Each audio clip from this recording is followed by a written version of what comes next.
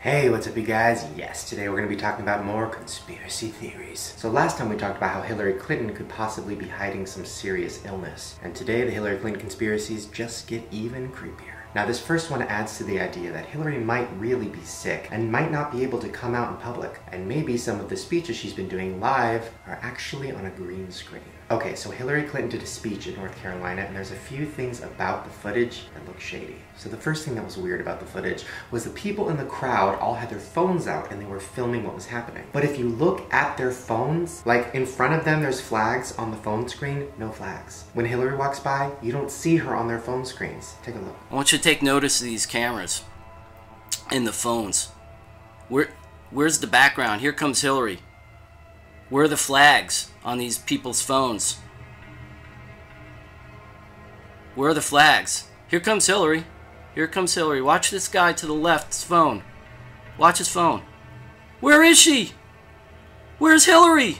See what I mean? Fucking weird. Now the commentary on that clip, by the way, is from a YouTuber named Victorous, and he went through the whole thing and showed a lot of creepy moments. But before we get to the creepier moments, I want to talk more about the phones. So I made a movie a few years ago, you guys might remember, Not Cool, and I had a lot of scenes where people were on phones or they're filming something, and we had to use green screen. Now when you put in an image over a green screen phone, it has a certain look to it. It never looks quite real. It kind of looks too bright, too saturated. And if you really look at the phone screens, you can tell that there's something off. You can tell that they're too saturated, that they're a little too blurry or a little too crystal clear. It just does not look real. Trust me, I've done green screen. It looks like green screen. Now the next thing that happens is really fucking creepy. While she's talking on stage, she starts glitching. Her and the podium and the microphone all start glitching, but the background stays the same. Fine, maybe the camera was having problems, whatever. Then she glitches and fucking disappears. Check it out.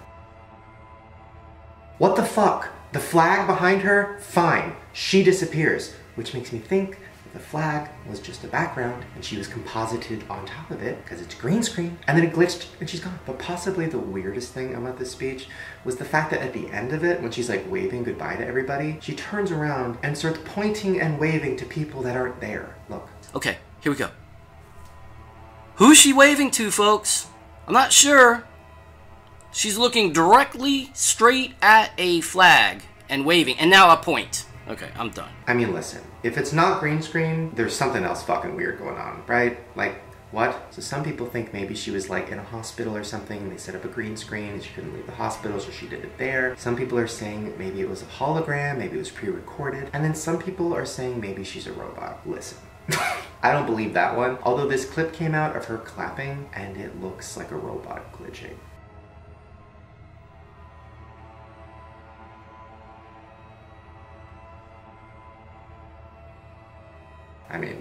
Robot to me. So the next theory about Hillary Clinton is that she has a body double. So a lot of people think that because she's sick, she's sending out this body double to do speeches, to go out in public, basically go out and do all the stuff she can't do right now because she's sick. So recently at a 9-11 memorial, Hillary Clinton was on her way to the car and she passed out.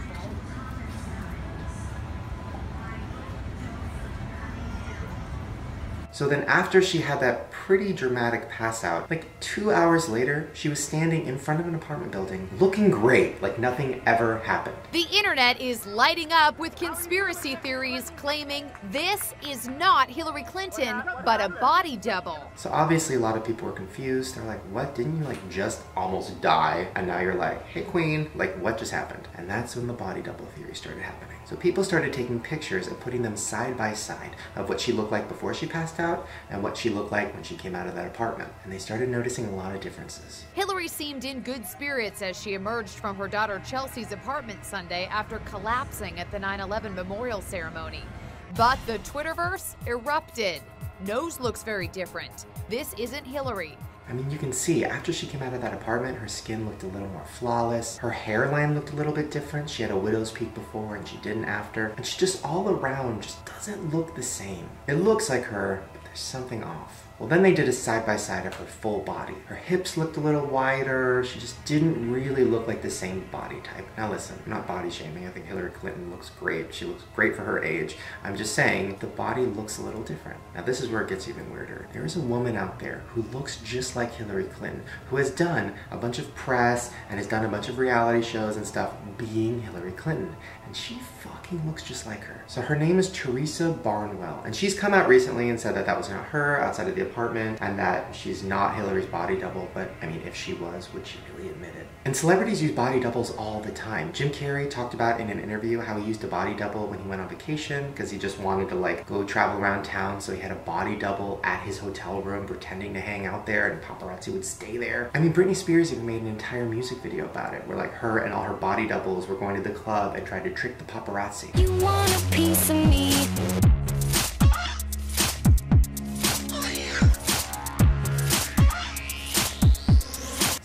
That out of the realm of possibility that maybe Hillary Clinton is using a body double? It's more realistic than she's a robot. Okay, so the next thing we're gonna talk about isn't really a conspiracy theory.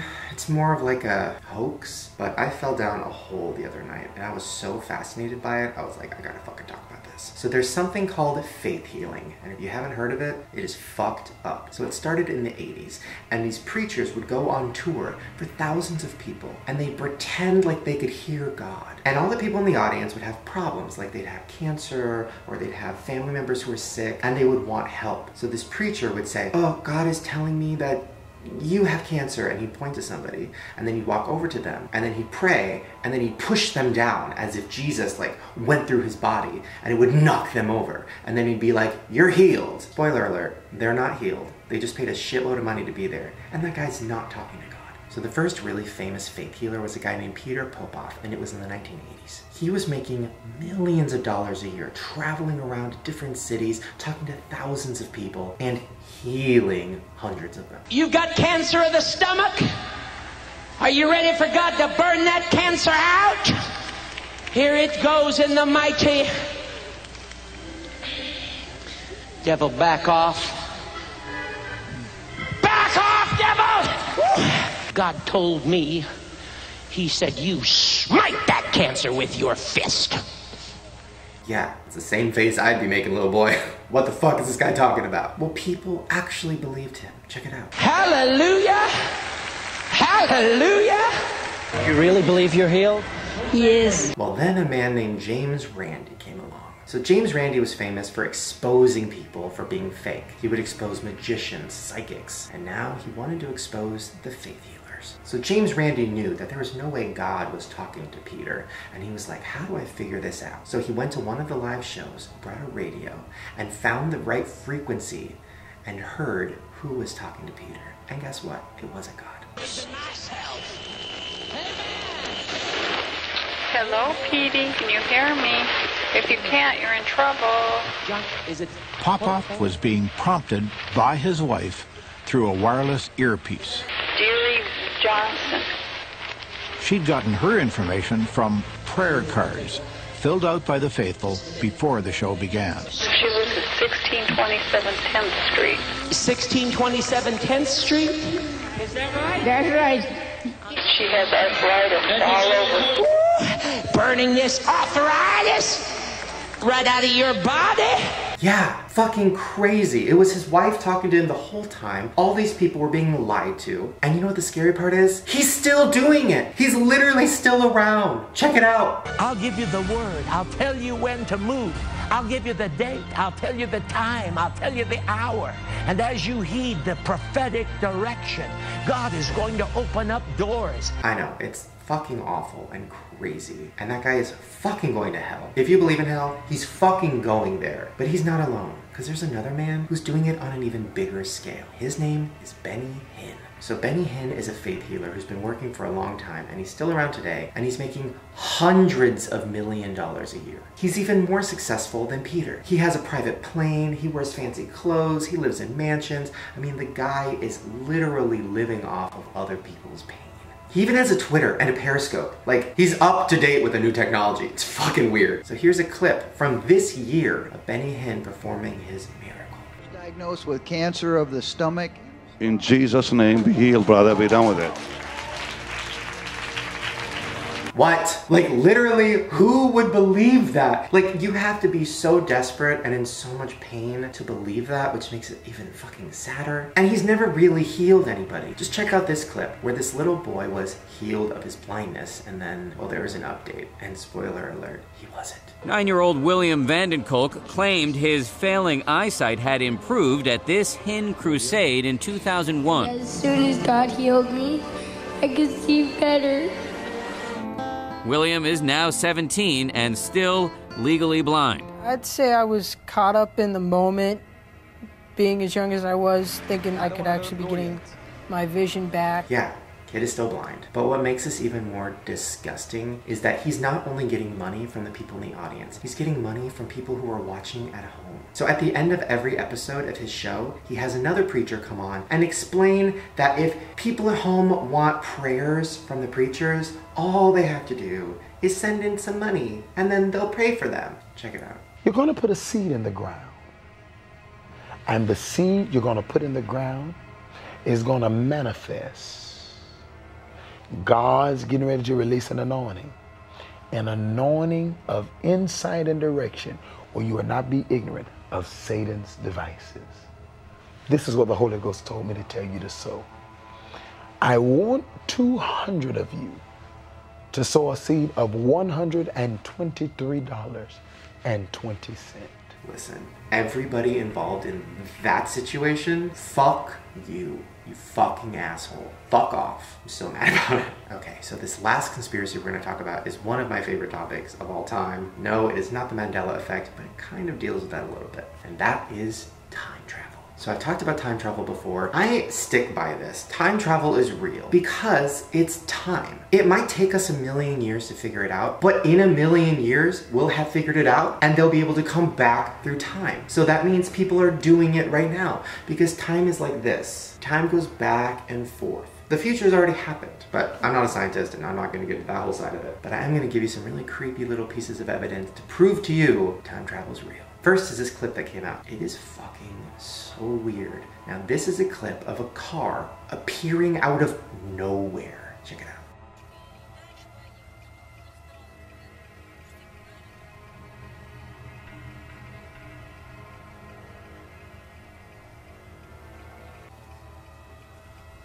What?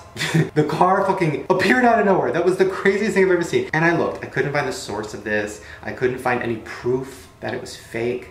It's just out there. Now this next piece of evidence is in an old Greek statue. Now in this Greek statue is a carving of what looks to be a little girl holding a laptop for her Greek goddess. Yeah, holding a laptop. There's even little USB ports on the side. What the fuck? And some people are like, oh, it's just like a small box. Like, no, that's a fucking laptop. What box is that small and shallow? Like, what would that even hold? I mean, maybe a necklace or something, but whatever. Just let me live. Okay, so this next picture was taken in 1917. And if you look close, there's a guy inside of the picture who looks like he's from the 1990s. He has long, shaggy hair. He's wearing a t-shirt. He's wearing shorts, which is not the style of 1917. I mean, just look at some of these pictures. No shorts, no t-shirts, no like long, shaggy hair. Everybody looked very pompous and had like their suspenders and their pants and their hair slicked back. That guy clearly was not from that time period. And if he was, he was just very ahead of his time. So here's another carving that happened in the 1600s and it's of an astronaut. Check it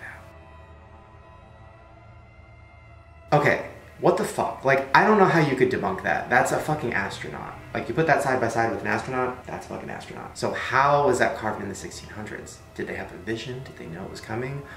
Or did somebody travel through time, carve it? Okay, so last time we talked about time travel, I showed you pictures of celebrities who look like people from hundreds of years ago, and I have a few more. So here's one of John Travolta. Here's one of Rupert Grint. Here's one of Johnny Depp. And here's one of Peter Dinklage. And this one is fucking uncanny. There also is one of Glenn Close, but to show it. Oh, I fucked up for that. Now, there's a theory on time travel that kind of makes sense, but we'll never know if it's real or not. And that is that Bill Gates created it. So Bill Gates had an idea for time travel, and he called it Timegate. Now his idea was that you can go back in time and fix any business decisions that might have been fucked up. And in a speech, he said this. Do you remember when Biff went back in time and Back to the Future? Yeah, I can seriously only do worse at this point. So he's admitting that time travel probably would be a bad idea and something would go wrong. But that makes me think, is that trial by error? Did he already create it? Did he already go back in time? Did he already mess something up? Is that the Mandela effect? Either way, I really hope it's real. There you guys go. Hopefully you enjoyed the conspiracies today, and hopefully you enjoyed my fucked up hair. I'm sorry. If you want me to do more conspiracy theory videos, please give me a thumbs up so I know. Also subscribe to my channel right down below. I make new videos every single day. And if you want to see all my other conspiracy theory videos or videos where I talk about creepy stuff or death, I'll put a link to a playlist right at the top of the description below. Alright, you little theorists, I'll see you tomorrow. Time travel. Pretty much 99.9% of the time, when I meet people in public, they are Mexican. And they are with their Mexican families, and the Mexican families are like, yes, see bitch, see puta. And they're like, you're fucking crazy, and we fucking love you, and we love when you make Mexican jokes. And I'm like, I can't make them anymore, it's 2016. And they're like, cállate la boca, tú es gordo, and we miss the old chain. I still don't know what gordo means, but I think it means cool.